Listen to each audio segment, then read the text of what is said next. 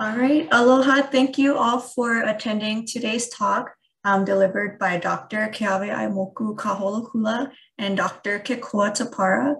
Um, it is my honor to introduce our first speaker, Dr. Kaholokula, a tenured professor and chair of Native Hawaiian Health at the John A. Burns School of Medicine in Hawaii, as well as a licensed clinical psychologist.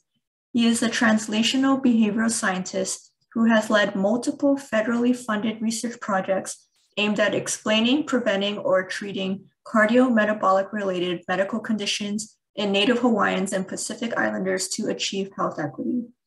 His work is chronicled in over 140 publications and has an impact on the local, regional, national, and international levels to bring systemic improvements to healthcare delivery, clinical outcomes, and policy.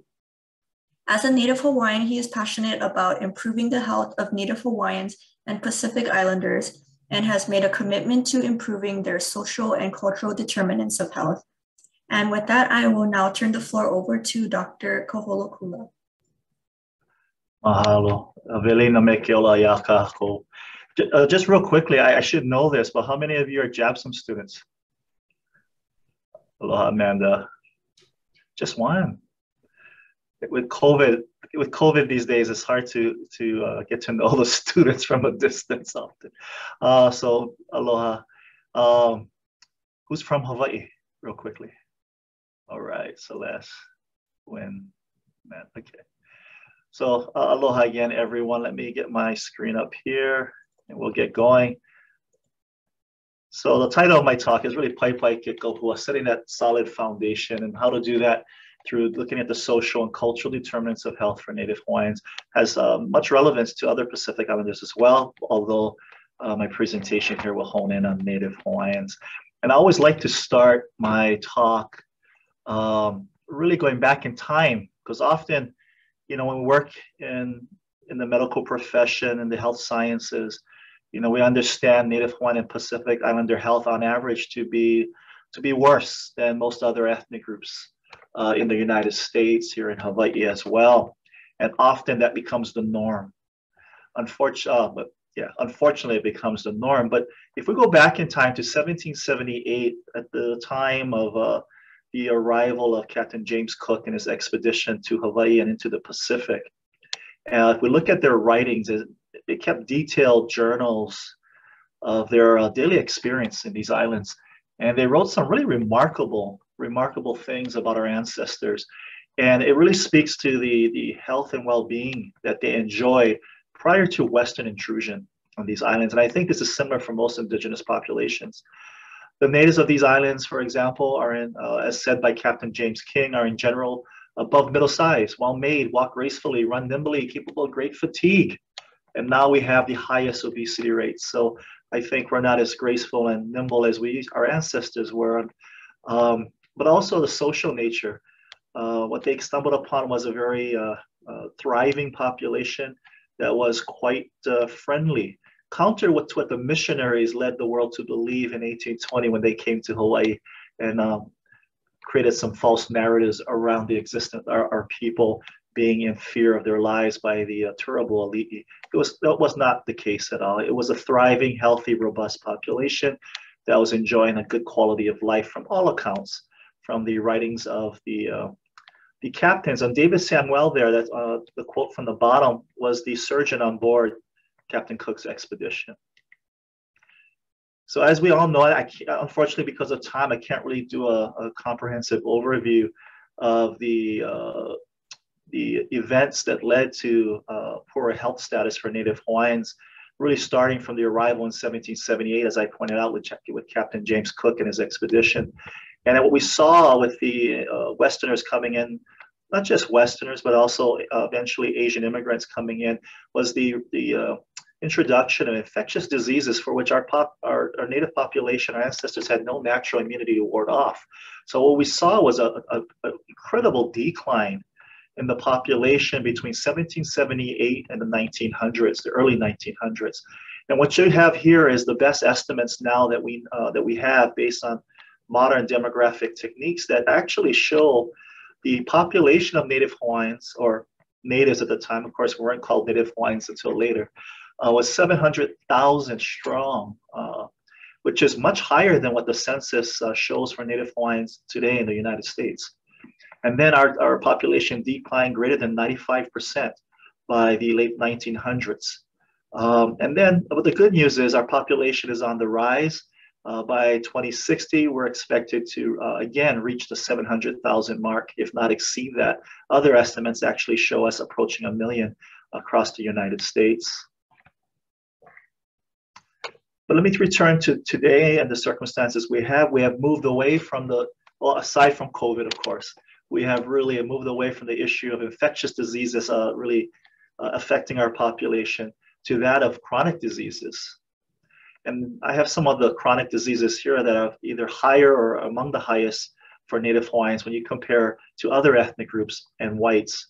Of course, obesity, hypertension, diabetes, cardiovascular disease, all interrelated, of course adverse childhood experiences we have more of, which also, as we know from research, uh, uh, sets you up for these other uh, chronic diseases and mental health conditions in adulthood, such as uh, trauma, depression, suicide is very, very high among our population and substance use. And given all this, we have a life expectancy that's about 10 years shorter, a whole decade than other ethnic groups. When you look at the, high, the longest living ethnic group in Hawaii, Chinese, it's about a 15 year gap between Native Hawaiians and the Chinese population. And we get these diseases an average of 10 years younger, research shows. Um, for one of the examples here is that we're, we're seeing now, and it's not unique to Native Hawaiians, it seems to be the case with many indigenous populations, is that we're seeing earlier onset of Alzheimer's. Um, and that might be due to the early onset of vascular risk factors for Alzheimer's, such as hypertension, diabetes, and obesity. But when we really look at what accounts for health inequities in the United States, um, and what we, what, we, what we suspect from good research, actually, and, from a number of uh, different disciplines and just uh, over the years, better research coming out, trying to better account for um, the social, cultural, behavioral, medical factors that contribute to health inequities. And what we really see is that a great deal of it really is upstream. When you look at social economic factors combined with physical environment where people live, work, play, learn, is that a, a, a, this at least 50% in this model that you're seeing here, but in other models, it has it anywhere to up, up to 60, 70% of uh, health inequities really being accounted for by what might be considered social determinants of health. And then the rest is really the, the behaviors that people have that choose. Uh, well, I hate to say that because people don't choose to be unhealthy, but their lifestyle behaviors, access the quality of clinical care that they receive, which, as we all know, is inequitable across different groups. But so what I'm, the point here is really that there are these upstream factors that we need to pay attention to if we're really going to close the gap, uh, in this case, between Native Hawaiians and other ethnic groups. So we talk about the social determinants of health. I think many of you are very familiar with this term. About maybe 10 years ago, 12 years ago, when I used to present on social determinants of health, it was fairly not something spoken about often and taught. Uh, nowadays, I, I, see that more and more people are talking about social determinants of health, and we're having greater research in this area. But what is what is social determinants? It's really the economic, social, and environmental conditions and their distribution among the population that influence individual and group uh, differences in health status. And they include the presence or absence of discrimination in employment, education, housing, healthcare, livable wages, for example, and living in safe neighborhoods. On the right here, as you see, this is one of the uh, social determinants of health figures that we created for one of our research grants to really demonstrate the, the multiple levels of influence that we see and some of the specific factors our communities are telling us through research that are issues for them, uh, whether good or bad, that help either facilitate or uh, or are barriers to them uh, living healthy and receiving good health care. And uh, as you can see, it's very, very um, uh, diverse and multifaceted across multiple levels, as you as we know. That they are not just saying that the, the individual choices that I make are affecting my health, but the conditions under which I live, work, and play, for example, influences that as well. And what we do know from research here in Hawaii is, uh, this is uh, a saying that I think many of you probably heard before. It's more to do, it has more to do with your zip code than your genetic code when it comes to health status for, for many people. And when we look in Hawaii uh, at areas where uh, predominantly Native Hawaiian communities, we see the lowest life expectancy in Hawaii compared to the dark blue, which is the highest. The dark blue that you see are in more affluent areas, uh, downtown Honolulu, all the way all the way out to Hawaii Kai. What's interesting, if you go to the far right of the Oahu Island, the larger uh, island there, if you go down to the right side, you'll see that on the bottom there's all that dark blue. Right over that mountain there, the yellow is the lowest, and they're just right around the corner, right? So obviously, it's not. It has nothing to do with, uh, um, you know, um, probably you know something that would be affecting.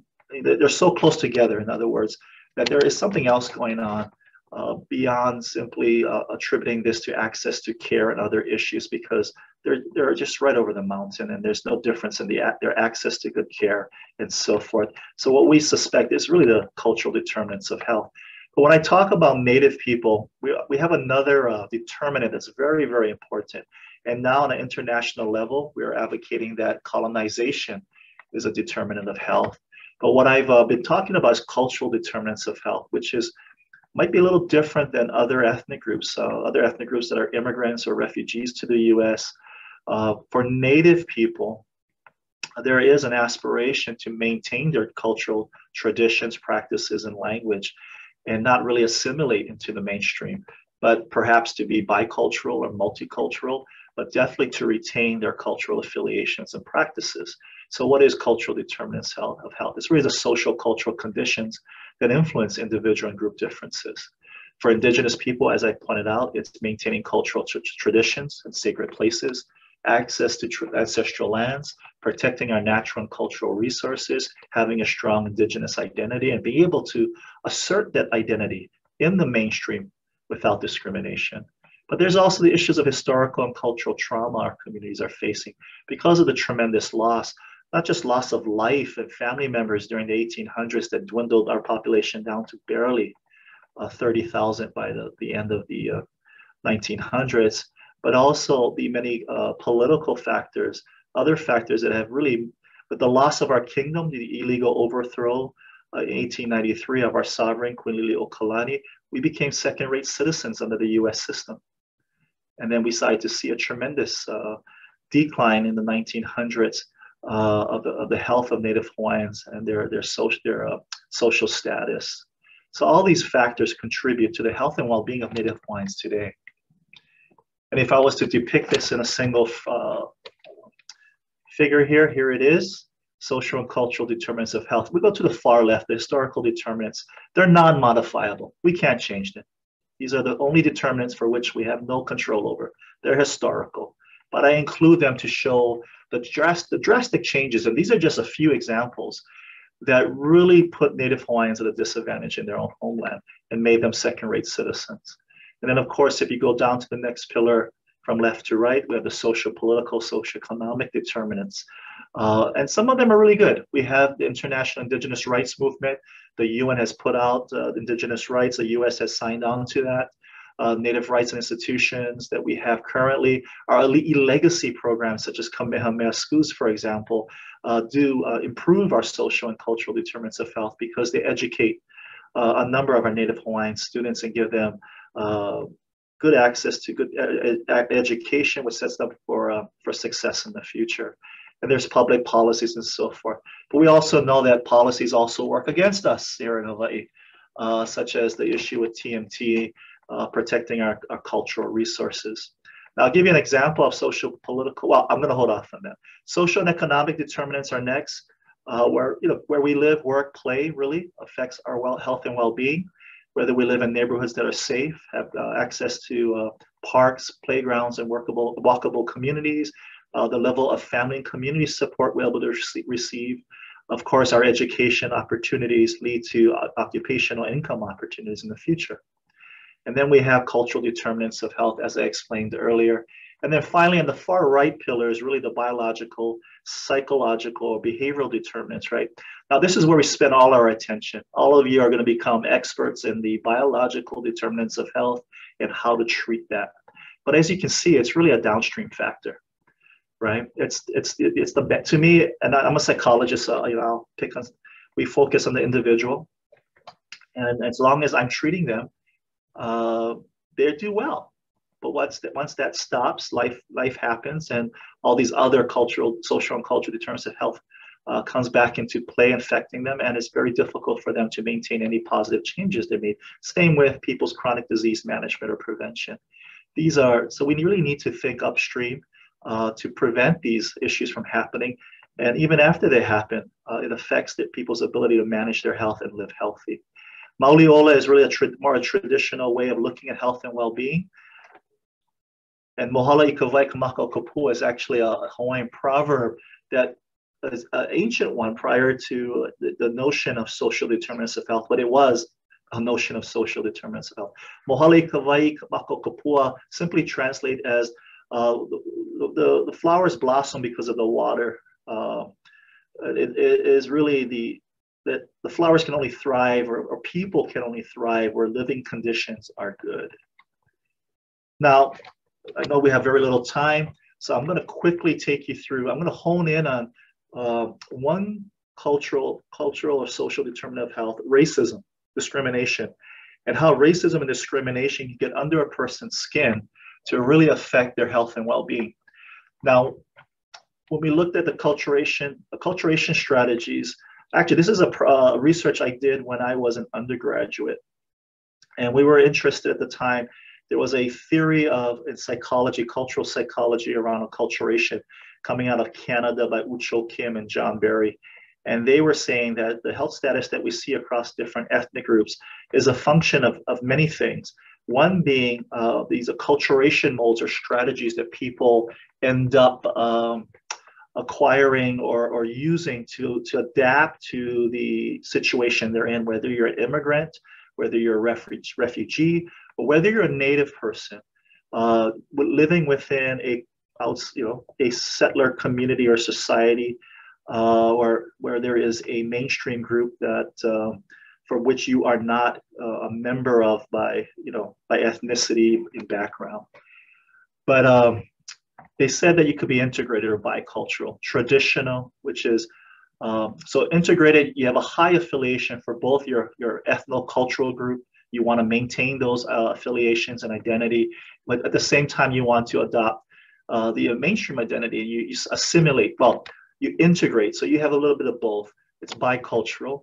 Then we have the traditional, or what was traditionally called separatist, that is uh, high on the Hawaiian or the ethnocultural side and low for whatever reason on the mainstream, or in this case, the American side. Assimilated is uh, you flip that around. It's high on the American, low on the uh, cultural and the marginalized is low on both. And this is a this is looking at depression symptoms across Native Hawaiians that were categorized based on a multi uh, a, a scale of identity that was uh, developed specific for Native Hawaiians that compared their affiliation with their Native Hawaiian culture with that of the mainstream. And we were able to categorize them into these categories based on this theory. Now, the percentage is the percent of participants, Native Hawaiian participants, who ended up uh, based on um, this multi-item scale being categorized as, uh, into these four categories. 70% were bicultural, 23% were traditional, only 1% assimilated, 6% marginalized. This uh, study actually has been replicated several times on several islands in several different Native Hawaiian samples with two different measures of acculturation and identity. And we get almost the exact same distribution. It's anywhere between 70 and 73% for bicultural, uh, 19 to 23% for traditional, 1 to 2% for assimilated, and about 4 to 6% marginalized. So they roughly, they're, they're pretty much the same. So whether we're, it's a valid construct, I don't know, but we're measuring it reliably across time. But here what you see is the depression score. So the number below 70%, for example, 13.5, is the mean score for their depression uh, depression score, which is a combination of Beck Depression Inventory and the CESD Center for Epidemiological Studies Depression Scale. And what we see here is that the traditional group has the highest mean score, even after adjusting for age, education level, Native Hawaiian degree of ancestry, because as you know, many Native Hawaiians are of mixed ethnic ancestry. Uh, I'll come back to that a bit. Uh, what we're seeing is that yet there's a high, there's higher depression among the traditional group. This was counter to hypotheses. We actually thought the traditional group would uh, have the lowest because we because of their their strong and exclusive Hawaiian identity. But I'll come back to that after this presentation. Then we did a similar uh, study in another sample of Native Hawaiians looking at diabetes risk. And this, these uh, people with diabetes in this study were confirmed cases of diabetes. They weren't based on self-report. They were confirmed cases of diabetes. And what we found was that also the traditional group had the highest risk for diabetes. Uh, so the, the prevalence for the entire sample here of 495 Native Hawaiians is 19.1%. But when you start breaking them out into the four acculturation modes, what you see is very large differences in the risk. And similar to depression, the traditional group had the highest risk. Almost 30% of them had diabetes versus 15%, for example, half of that with the uh, integrated group. And I'm only focusing on those two because that's where a bulk of the uh, participants were. The numbers were, are too small to make any sense of the simulated and marginalized. But the point, what the, the, what's interesting here is the, the, the uh, similarity with our depression uh, results. And if you don't know, depression now is considered a risk factor for diabetes, independent of other known risk factors. People with major depression are three times more likely to develop diabetes, for example, independent of the other risk factors that we know of. So something's going on, but we don't think it's the it's it's it's the Hawaiian identity per se that's the issue. It's more correlational, right? What we believe is the issue is that Native Hawaiians who are strongly identifying with their Hawaiian culture are experiencing more racism. And in fact, that's the case when we do look at racism and account for the acculturation modes. What we're really finding is that racism really is the factor that's affecting the health of Native Hawaiians. Uh, Kekoa, you might appreciate this. This is Stanford students protesting the use of uh, our uh, traditional attire as costumes or for, for Halloween and for parties. Uh, but when we look at the experience of racism for Native Hawaiians over the past 12 months, a majority of, of 48, 48, 48% they're saying that it, it happens often to most of the time. 52% say it happens sometimes. None of them say none of the time. That's that's the interesting part. In a state that prides itself on cultural and ethnic harmony, uh, often uh, when I first started this research over 12 years ago, people were telling me there's no racism here. Uh, well, ask a Native Hawaiian, they'll tell you there is racism. Ask a Pacific Islander, they'll tell you there's racism. So, what are the effects of racism on health? I'm going to make it quick to get. I know we have to get uh, uh, turn over this over to Dr. Uh, Kekoa, and then um, so I'll just say that we found that racism is associated with a number of factors among Native Hawaiians, one being hypertension risk, the other being obesity, the other is psychological distress, mainly mediated by certain coping strategies. Uh, the other thing we looked at is cardiovascular reactivity and recovery. Um, so as you probably, you might know this, that uh, cardiovascular reactivity, how, how fast we react to a, a stressor and how long it takes us for recover when the stressor is no longer around or in our environment, right? And how long we take to recover back to baseline in our in our heart rate and blood pressure and so forth. This pre does predict risk for cardiovascular disease in the future among many ethnic groups. And we're seeing something similar with Native Hawaiians and racism, uh, using racism as a, a, stressor. And then I've done studies looking at uh, the relationship between just cortisol and blood pressure. Um, what's interesting in racism, we see a flattened cortisol activity. Usually with a stress, a stressor, you see an increase in cortisol activity and you see a whole cascade of events in the body to prepare for the fight or flight response, right? Uh, in our, in this case, uh, chronic stress, long stress over a long period of time actually leads to other problems such as um, hypocortisolism, for example, is the, is the term that uh, the, the, the issue that people are, are looking at these days.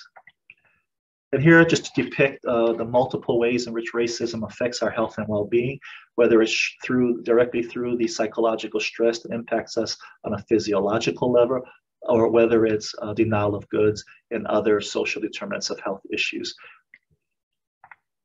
You know, I'm I'm I'm actually at my at 20 minutes, I believe, right? I'm to go ahead and stop here and turn it over to you, Dr. Kekoa. Thank you so much, Dr. Kaholokula. And Dr. Taparra, are you able to um, share screen from your end? I'll share my screen now. Perfect. That, that was a really nice kind of segue into some of the things that I'll talk about. Um, just pulling things up, and I apologize in advance if you, if you hear my pup. He's uh, kind of not happy that I'm in, in, in my office right now. Uh, let's see. So our second speaker will be Dr. Kekoa Taparra, a native Hawaiian radiation oncology physician scientist trainee at Stanford Medicine. He was born and raised in Mililani in Hawaii um, and is a Kamehameha Schools graduate. He completed his PhD at Johns Hopkins School of Medicine in cellular and molecular medicine, followed by an MD at Mayo Clinic School of Medicine. His research covers many topics, including Pacific Islander health disparities, access to cancer care disparities, oligometastatic prostate cancer, and the impact of cancer healthcare costs have on survival outcomes. He is passionate about mentoring underrepresented individuals in medicine. He is working towards his life mission of returning home to the islands to provide high quality cancer care to Hawaii's communities. And with that, I'll now turn over the floor to Dr. Taparra. Awesome. Thanks so much for the introduction. Just want to double check. Can you see this screen with, uh, perfect, cool. Um, and show by show of hands again, uh, how many MS1s do we have again? Okay, one MS1. Oh yeah, and Celeste, you're the one from Hawaii, yeah? And where are you from? Uh, I'm from Kaneohe, but I grew up in Las Vegas. Okay, cool, cool. And then um, MS2s.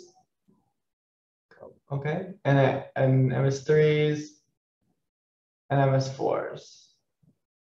Okay, cool. We have like a really good spread, so that's perfect. Um, I knew that Dr. Kaholokula was going to do a really good kind of introduction on kind of uh, social determinants of health and healthcare disparities because he's the expert in that. So I kind of tailored my talk so it's not so much about kind of data, even though there's a little bit about it. But I hope that kind of some of this goes into something applicable to each one of you in, in terms of your stages of where you're at in medical school. Um, uh, so this is kind of my, my uh, outline. I'll go through some background, talk about my journey to medicine, um, talk about residency, and then do a brief uh, kind of talk on, on some of my research that I've been doing, and then wrap up with some tips for med school. So uh, as some background for myself, um, so I'm from Mililani, I'm from Oahu. Um, these are my, this is my family, this is my parents. Both my parents are native Hawaiian. Um, and I was really lucky um, and I got to uh, attend Kamehameha schools. Um, I graduated from 08. Um, do any of you know Kamehameha schools at all or anything like that? Yeah, so uh, it's founded by uh, Dr. Kaholokula mentioned it, um, but it's founded by our princess, Bernice Pauahi Bishop. Uh, it was actually Founders Day this week. Um, she's the princess who kind of founded the school on her deathbed. So if you remember the U-shaped curve that Dr. Kaholokula showed us, at the very bottom of that U-shaped curve, that's when um, uh, Bernice Pauahi Bishop was uh, dying on her deathbed from breast cancer and wanted to found, use her trust to found a school called Kamehameha Schools for Indigenous youth, so Native Hawaiians. Um, and that's kind of where I did my um, kind of formative years of education. Um, and from that, I, I was a swimmer. I was not smart. I was not like all the brainiacs at, of my school. I was like very much just trying to get through life. I was a swimmer. And so I decided um, for college, I went to Fairfield University. It's a Jesuit school out on the East Coast in Connecticut. Um, I started out as a comp sci major. I, think I wanted to either be a dolphin trainer or like be one of the Apple like sales retail people in the beginning of my of my school years. But then I decided um, quickly that comp sci was not for me, and I uh, double majored in biology and psychology, and I triple minored in Asian studies, math, and philosophy. Um, a lot of cultural shifts and changes in terms of surviving the East Coast. Um, I always joke that my study abroad in Japan was less of a study abroad than being in Connecticut compared to Hawaii. But so that was kind of, um, these are, I met so many great mentors who kind of taught me about loving research. You know, I, I was a D1 swimmer, but I, uh, you know, got involved in academia and academics through a lot of really great mentorship. So at the end of my college years, decided to go to actually do my PhD first. So uh, I chose to go to Johns Hopkins. Um, I was in the molecular medicine program. It's the first translational medicine program. Um, I think in the country or the world. But um, I really wanted to focus on cancer. I have, as a Native Hawaiian, all my Native Hawaiian family members, there's like at least 10, no, it's actually increasing, but 10 family members with cancer, most of whom have passed away, unfortunately, running the gamut from pediatric neuroblastoma up to like the bread and butter prostate cancer. So I was really interested in, in cancer um, for my PhD. I ended up um, joining Phuoc Tran's Lab. Um, he's a radiation oncologist, physician scientist, he um, uh, does a lot of work on with mouse models and molecular mechanisms for epithelial mesenchymal transition. So it's basically the metastasis, how does cancer metastasize and go throughout the body? But I specifically looked at how um, a novel sugar pathway actually fuels, um, it, it, hijacks that program in order to kind of promote tumor genesis and, and acceleration of, um, of tumor growth, and specifically a lung cancer model. So that was my time at Hopkins and specifically Dr. Tran, you know, so my parents are in that photo, but my mom is a public high school teacher from Mililani. My dad, uh, you know, started out as a power plant out of, you know, um, when he was really young, he's worked in the mail room and kind of just worked his way up at, at Hawaiian Electric Company or power plant. And so, you know, no one in my family is in medicine. No one in my family is in academia or like uh, science. And so um, this Dr. Tran was like the first person who I ever kind of got to meet, who was, uh, you know, in science and in, in medicine. And he brought me into the clinic and was like, hey, look, I can cure these patients from their cancer. And like, at that point, I was like, all my family with prostate cancer have all died. Like, how, how do you save these people? And so he was the one towards the end of my PhD was like, you should consider going to medical school. So I was like, I don't know, like, how many years is it? Like, do I have to take a test to get in? I knew nothing about the process. And so he was the one who kind of encouraged me to go and like walk me through the steps. And so I decided to go to Mayo Clinic for a medical school. Um, this is my class here. It's a very small, like 50 of us. You get to know each other, whether or not you want to know each other and very intimately with a small classroom size. You know, I went to uh, I went to Jacksonville and Phoenix campuses. Um, it was a really great experience um, overall. Um, during my time there, in my very first year, I actually got to go to Waimanalo Health Center and um, uh, Queens West, uh, West Oahu. So, you know, if you remember Dr. Kaholokula, when he put on the maps of um, the life expectancies, the yellow regions, that's kind of where I did my um, some of my practicals um, uh, to learn kind of in the very beginning how to become a doctor. So, um, and Mayo paid for that, and it was a really great experience. Um, and so, you know, pre-clinical years, then transition to, you know, you get into your organ systems, MS2, right? So like I just I bring this picture up in cardiology. Like again, no one in my family was in medicine. Like I had, I had classmates who like knew since like elementary school what a heart attack was. And I just remember being in cardiology. I'm like, oh, there's like vessels that feed the heart and like those get clogged. I had no idea what plumbing was. Like I had no idea what any of this was. And I, I distinctly remember like in cardiology midterm exam getting like, uh, for some reason our professor like put up a, like the distribution of the scores up on the screen and then I flip my paper and I'm literally the last person and I'm like, oh wow, I really know nothing. And it was really humbling experience to go through medical school, like not knowing anything and you know, again, like some of the information that I was just learning, people knew from like when they were kids, and it was just because like their parents were doctors or whatever. So I had a lot to um, catch up on. Um, and you know, for the MS3s, you know, or whenever you start your clinical years, right, you have to go through that too. And so for me, um, it was also a struggle. Um, you know, I was always like, just be a good person. Everyone told me like, oh, just be a good person. That's all you have to do. And then you like honors. But you know, obviously it's like the spotlight is always on you and you always feel like you're being judged all the time and um, you have to take the shelf exams. And so there's a lot of pressure on you, right, as a medical student. And I will always remember like well-intended resident brings me into the like a literally a closet in the side inside of the room um, on my medicine rotation, and he was like, "Hey, you need to do a better job at your presentations. They aren't very good. You're making me look bad." Blah blah blah. And so he like was like practice right here in front of me, and I was like literally looking at my little cheat sheet of notes, and like I blanked, and during the headlights, I didn't know anything, and it was uh, a lot of those times like happened, and it, it was really tough.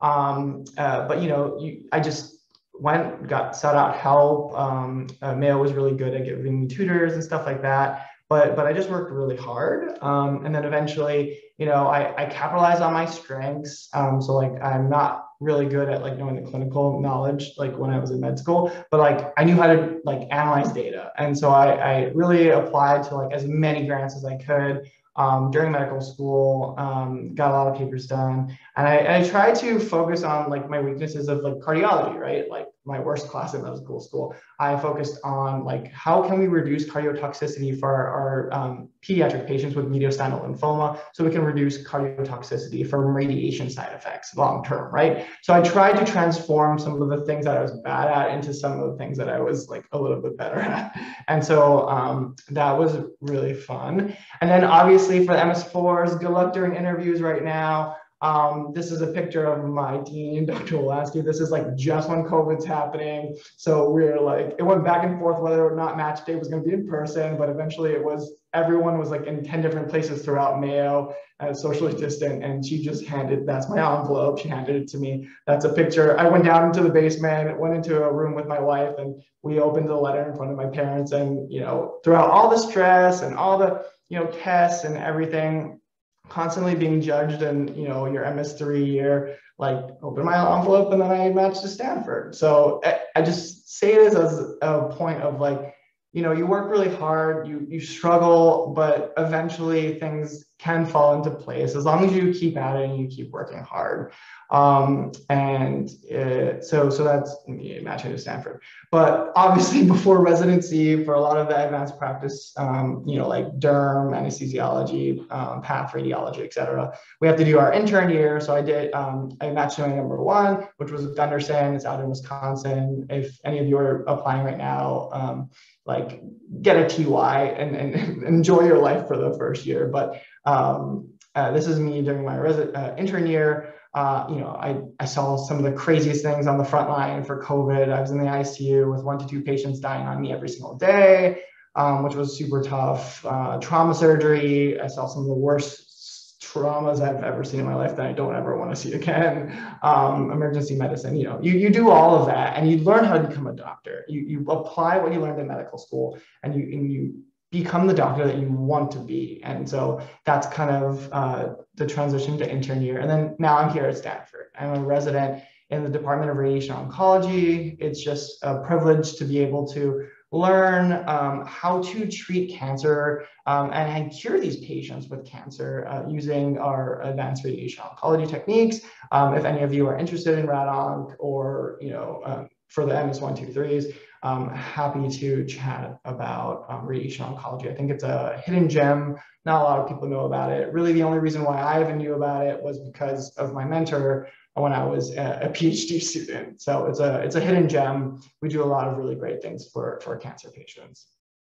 And so that's kind of me. That's kind of the background. Um, I'll just really quickly touch upon some of the things um, that I think are important. Uh, these are just three of my papers that I published this year. Um, uh, so the first is just kind of a JAMA Health Forum uh, paper. I, I, try to put into context how far away the Pacific is relative to the continental US. Because I think a lot of times, you know, I remember in elementary school seeing the map and then like Hawaii and Alaska are just like somewhere near Mexico and like it's really far away. And, and I think a lot of people forget how far removed we are from um, being, you know, being in Hawaii. And a lot of people don't know which islands are Hawaii. These are the eight of them. But remember that the archipelago kind of goes like 5,000 uh, islands up towards Japan because of the tectonic plate moving.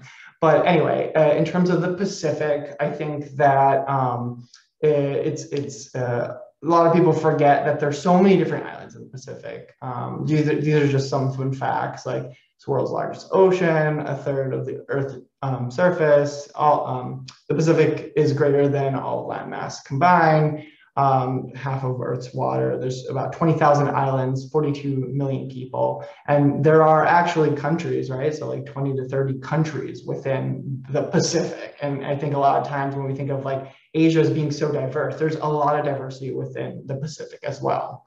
Um, and so, you know, we think about Hawaii being from the United States um, because it's a state, but, um, you know, and I think a lot of people recognize Polynesia, but when we think about Pacific Islanders and who they are, we're really talking about the ethno, these three ethnogeographic regions. So there's Polynesia, which everyone knows about because there's like Hawaii, obviously, but then Samoa, um, um, uh, but also like Aotearoa, which is New Zealand, um, um Tonga, etc.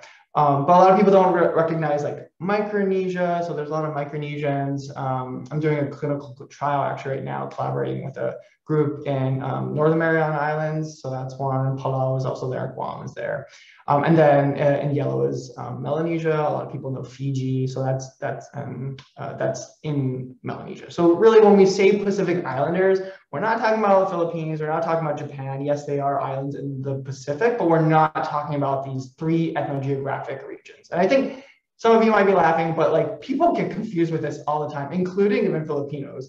Um, so it's it's just something that we um, I try to educate on because I don't think that people recognize these three ethnogeographic regions of the Pacific.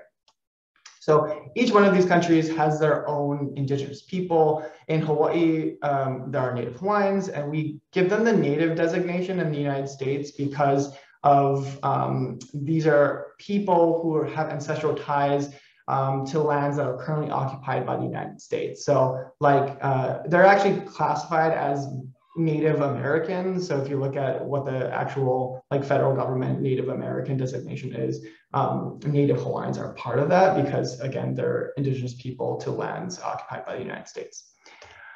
Um, Native Hawaiians are the most um, populous of the Pacific Islanders, and uh, so that's why a lot of uh, research is focused on uh, Native Hawaiians as a surrogate for Pacific Islanders.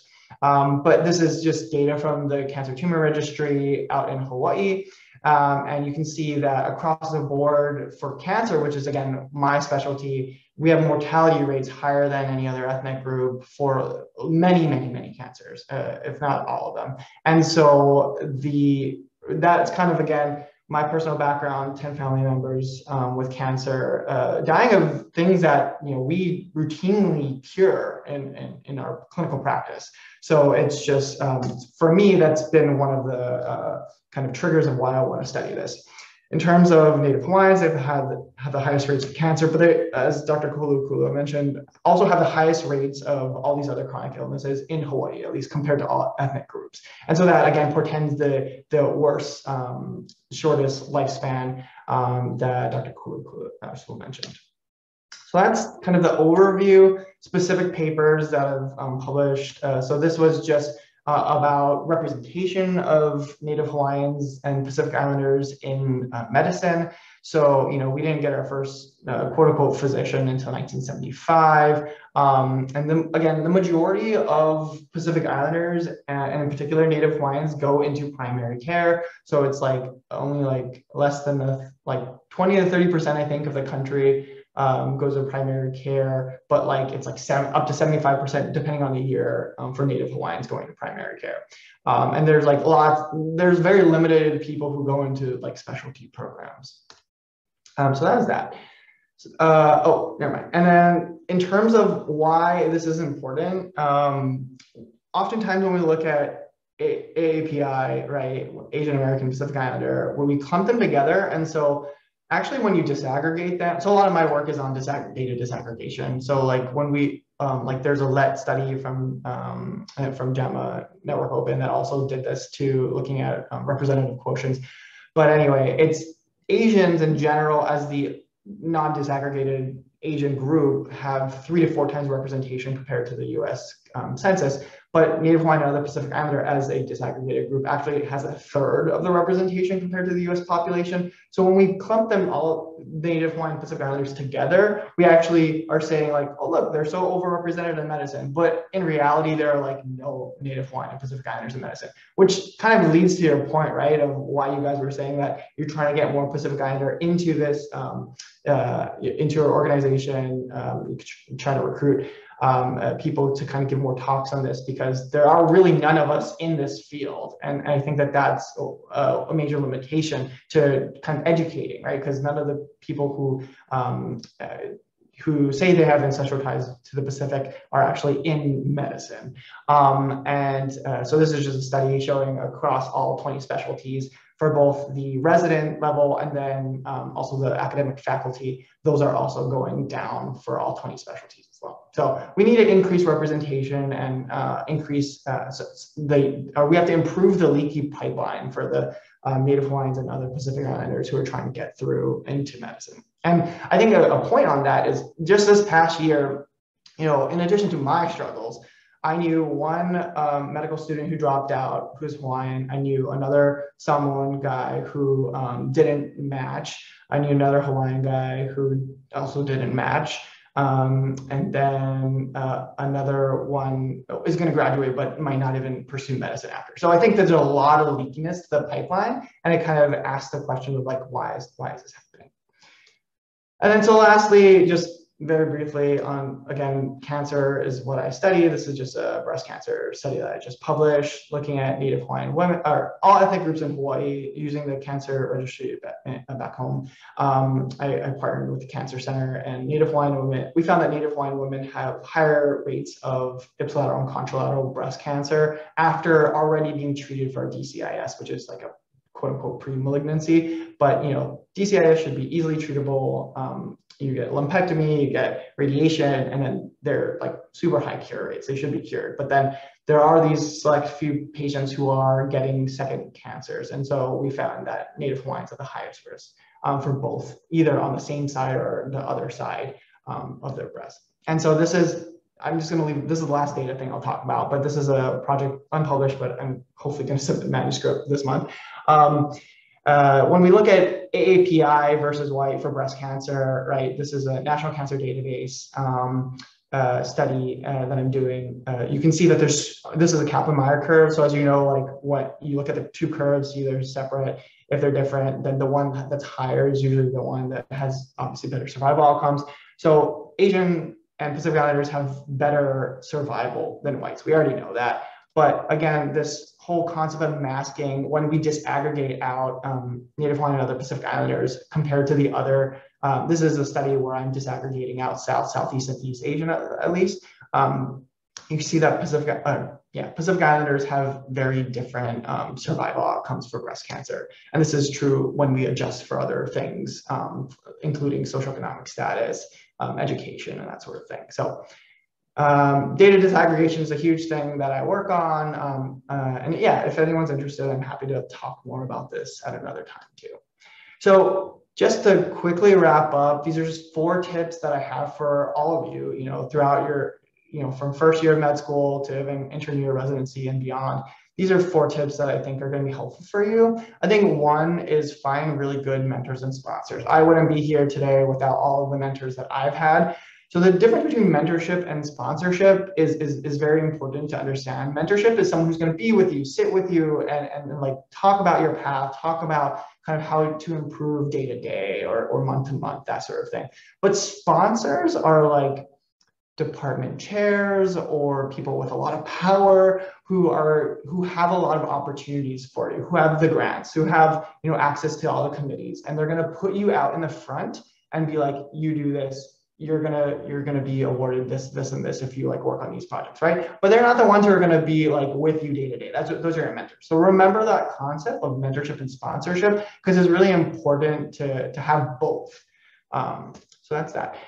Tip number two is stay in your own lane. You know throughout medical school i compared myself a lot to other people right? Like you look at the bell-shaped curve i'm like oh wow i'm on the bottom. And so when you compare yourself to others, it can be really to- like negative and toxic, you know, to um, to, to compare yourself to others. So as much as you can, and I know it's really hard for medical students, but as much as you can, try and stay in your own lane, focus on what you need to get accomplished, and don't worry about other people because honestly, that's just extra stress you're adding to yourself that is not helpful. And I've been there, we have all been there, but as much as you can, just try and stay in your own lane. Um, point number three is just you know focus on your strength. As much as like I did not like cardiology, um, you know, I, I tried to transform that of like, okay, I'm gonna like focus on a research project so I can really dive deep down into kind of a topic in cardiology and, and get better from it. And so, um, you know, for, for me, I know that I'm not going to be a, a internal medicine doctor. Or like I'm, I'm very poor at uh, like knowing everything about everything, and I want to just focus on something small. And so that's you know, focus on be true to yourself, know what your strengths are, and go for it for that. Um, and, and, also strengths that you're passionate about is going to really lead you um, in the right direction because in the long run you won't get burnt out and then lastly take wellness seriously i you know I, i've been in medical school wasn't the case phd wasn't the case but now as a resident i'm trying to make sure i sleep more i'm eating right exercising. Like i woke up at 5.30 this morning you know worked out. I think you have to do those things because if you don't take care of yourself you will burn out. And you, it will like we have the highest rates of all careers right of burnout and, and, and suicide and, and you know mental health problems. And uh, it's because we are a select group of people who enter this field, but also we, there are real stresses. Like when you're in the ICU, right? You people are dying all the time, and and you you kind of have to live with that and like learn how to cope, but also um, move on to the next patient. And so like it's very we're in a very stressful job, and um, that's why I think that you know take wellness seriously. And I don't mean like wellness committee things, like don't join another committee, like that's not helpful. Like focus on what you enjoy in life, what you're passionate about, and and go for that. And that, that's my talk. Sorry, it was a little long. I know that we're over, but I'm I'm here. Uh, you know, after this talk too, um, uh, feel free to um, get my email or whatever. I'm happy to chat with any of you over the phone or like talk about kind of strategies to get to residency and that sort of thing. But thanks. Thank you to Dr. Kaholokula and Dr. Taparra for your wonderful presentations. Um, we'll now open the floor to audience, audience questions.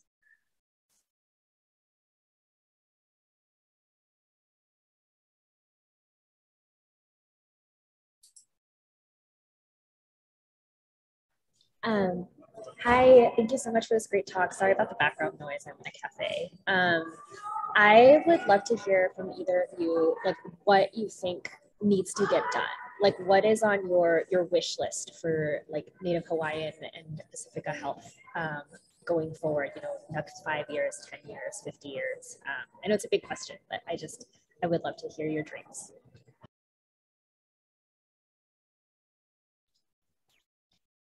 Oh, okay. I guess I'll go first then. Uh, thank you. That's a big question. Uh, it's a long wish list. Um, well, obviously, we have to reconcile the issue of the overthrow, the situation we're in. You know, this, this the federal government does does not really recognize Native Hawaiians as uh, we don't have the same relationship as American Indians, Alaska Natives as you know as they do. So thus, we're kind of kept out of a lot of federal funding sources and opportunities. Um, I know a while ago there was an attempt with the Akaka bill to get federal recognition. That was also controversial. Uh, but something has to be done for us to gain access to more resources without having to uh, co- contend with the with with the uh, Constitution uh, as the uh, barrier to us. Uh, unlike American Indians, Alaskan Natives are a special case, right? So they don't have to um, uh, it can be race-based for them versus Native Hawaiians. The other thing is the state of Hawaii, although this is Hawaii and we're from here, doesn't even have a similar recognition, really. I mean, it recognizes us, yes, and we have uh, under uh, the, the, the, Hawaii State Constitution, uh, uh, the formed Office of Hawaiian Affairs and certain things, but we still are treated like everyone else. We, we don't we're not afforded certain uh, privileges or accommodations as the host culture that's really lost everything. I mean, if you imagine we lost our lands, we lost our sovereignty, uh, and everyone else benefited. Everyone else benefited from this, right? A lot of our resources, everyone else benefit. If you don't know, Iolani School, for example, great school, is from our Ali'i. Kamehameha the third and uh, Queen, Kamehameha the fourth and Queen Emma, sorry. Uh, so there is so much benefit to the broader community, but yet Native Hawaiians don't get this benefit. We don't even get special taxes for us to address our own issues. We tried many years ago to pass state legislation that would allow us to tap into the uh, the transient uh, accommodation tax, right? I think you might have heard a few things on the news about that. Some of the counties are getting more from it. There's some of that's being used for the rail in Honolulu, for example. And we, we were asking for some of those funds and it brings in millions and millions. At the time i think it was 56 57 million dollars a year to the state. We're asking for a small portion of that. Now you got to remember tourism is is really built on the backs of native hawaiian culture and people. That's the reason people come to hawaii right? Uh, they don't go they come here and they, they go see hula. They see hawaiian shows polynesian shows and they go into hawaiian communities like waimanalo create traffic create hazards but yet it's under resourced that community and their infrastructure. So I'm going on and on, but you asked a very broad question. That's on my my wish list for for us as Native Hawaiians.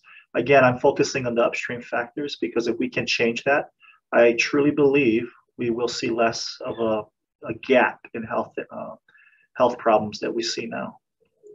Thank you. Yeah, I, I, I think just to be very specific in terms of a wish list item. I think for me, um, I'm a I'm a data scientist, right? I'm a physician, scientist, and and I like data.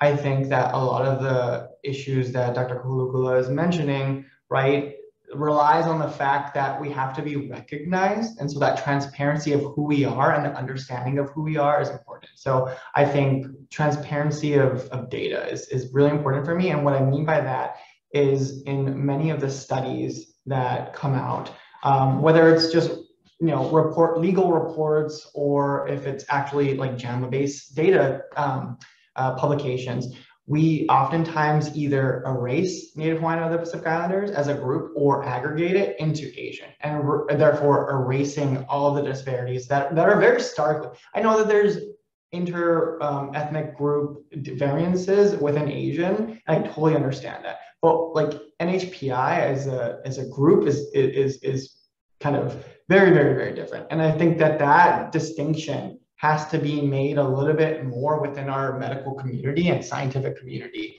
especially in the public uh, public health space it needs to be recognized that NHPI are different. And again, this is a federally recognized difference of one of the five racial categories. And I, I get it. You can say race is a construct, social construct, all these things, but it's a surrogate. It is a true surrogate for a lot of the social determinants of health that Dr. Um, was mentioning. And so again, my my number one in terms of what I want is disaggregation of the data. And let's start with that first, the NHPI versus Asian, and then that's further disaggregate Asian. I think that especially maybe we can't get all 30 ethnic groups, uh, and I think I personally think from a data perspective that's too unrealistic. But Southeast, East, South, like I think that that's totally doable, and no one's doing it. Like no one is doing it, and I think that it has to come within us as like a PI community to kind of advocate for that. But um, because uh, no one else is doing it. The people with the power are the people with the data, and they're not doing it. So we have to do it. So that's my two cents.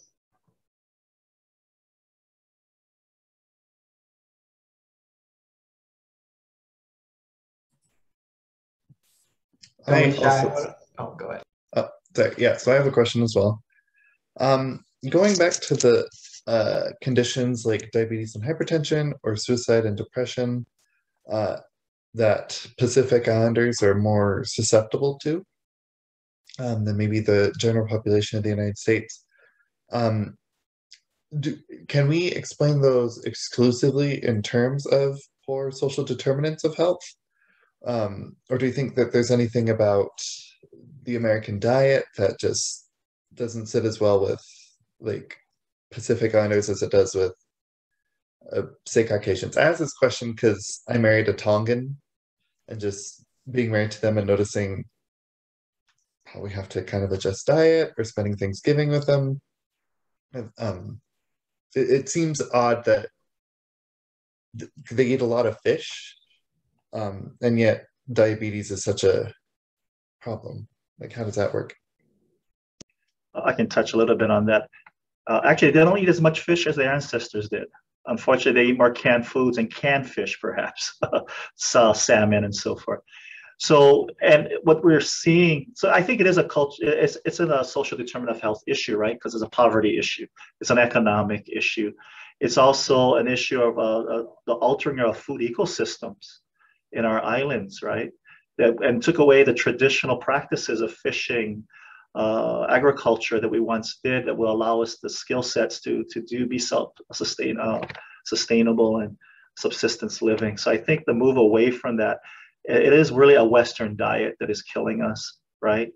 The uh, fast food, calorie dense foods, foods that are often cheaper and easier. I mean, people that live in Hawaii often work two jobs, yeah, and they don't have time to get from job A to job B in traffic. In, in Hawaii, if you don't know, in Honolulu especially, to just get two miles can take you sometimes 20 minutes, half an hour, right? To get 16 miles in Hawaii in the morning and afternoon takes an hour, hour half for people. That, you know, I, I know the LA traffic is bad, but I've been in LA traffic. You keep moving at least. In Hawaii, you can literally come to a dead stop for a couple of minutes.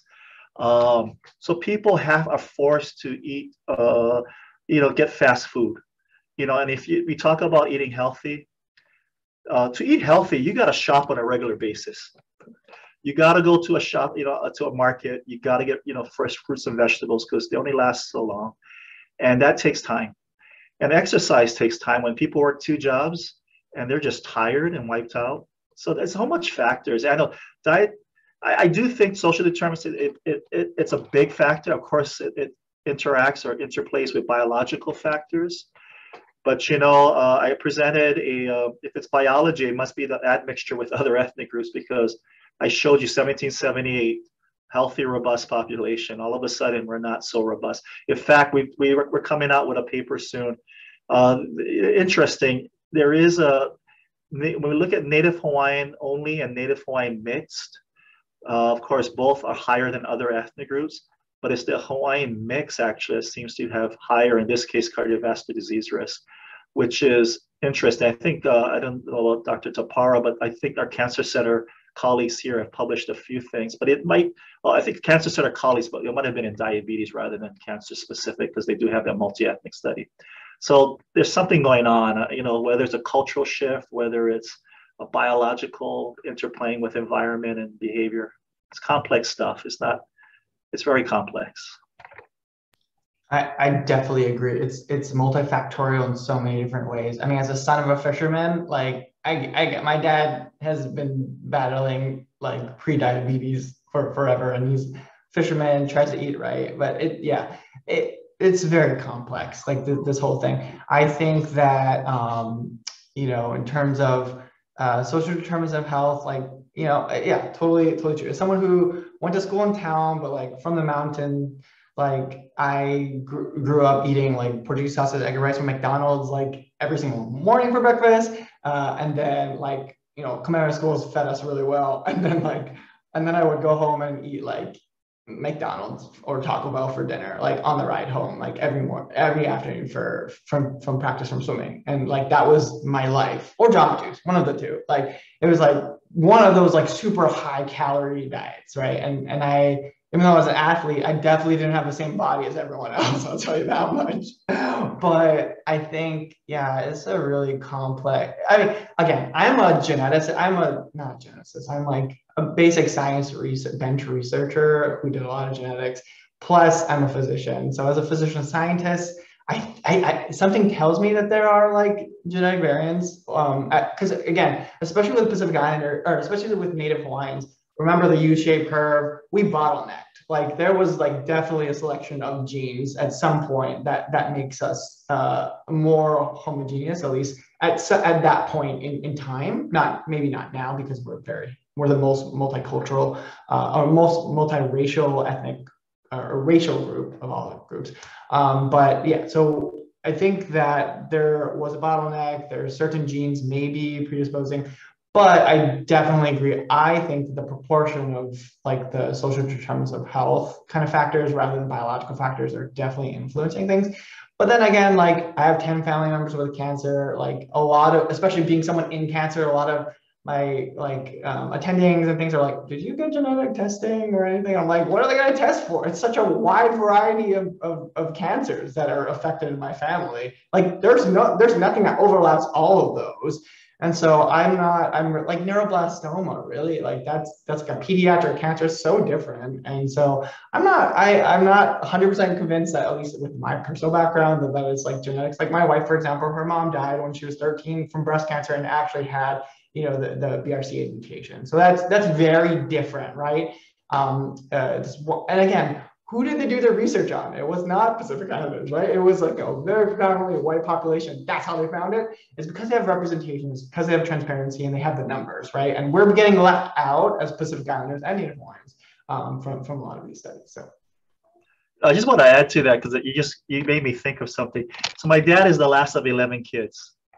My dad was the last of 11. My, my dad died of heart disease. Okay, but but it's interesting. Most of his majority of his brothers and sisters died of cancer, and it, varied. The cancer, the type of cancer varied. But what was interesting is that my dad was adopted by his auntie, and he was actually raised uh, on a different island in town. All what what all the, the, the brothers and sisters who died of cancer who were older actually were raised on plantation on Maui. So I and, and then there are three other siblings who were also Hanai out. None of them died of cancer. One died of complications due to diabetes. The other is still alive, going strong, and my dad died of heart disease. Okay.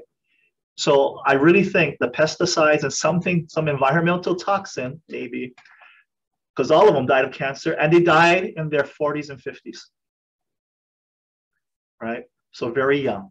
And so me, you know, so interesting, right? All same biological, same genetics.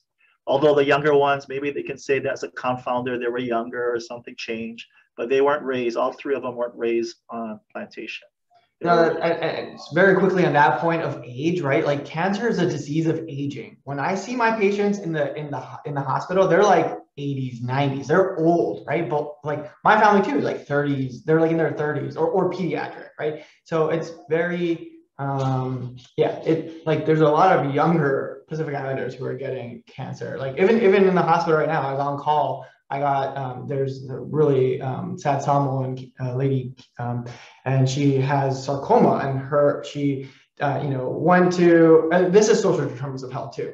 That she was from Vegas, got worked up. No one believed her. Didn't she was in pain, so much pain for a whole year. She flew from Hawaii actually to Vegas to take care of her dad, who was dying of lung cancer. Actually died of lung cancer, and then she was so much pain. They said it was like in her mind, blah, blah, blah. Didn't get any imaging, ended up getting imaging, and then found out that her whole entire leg was sarcoma. And so like then she came to Stanford and now we're treating her very palliatively. But it's like a lot of that social determinants of health too, right? Of like, oh, she didn't get any of the proper workup. No one even took an x-ray of her leg. If they would have just taken an x-ray, they would have seen that the whole leg is just tumor.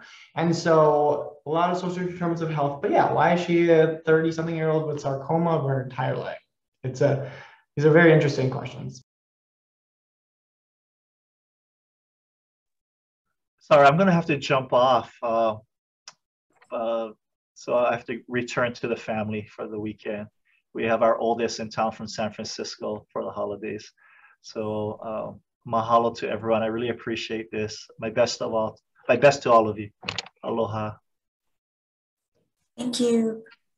Yeah, we are over time. Um, if anyone has additional questions for Dr. Kaholokula and Dr. Taparra, um, you can also submit them to nhpi director at apamsa.org. Um, but thank you so, so much to our speakers for um, sharing their time and expertise with us today. Um, they were such informative, eye-opening presentations. And thank you um, to you all for attending our workshop today.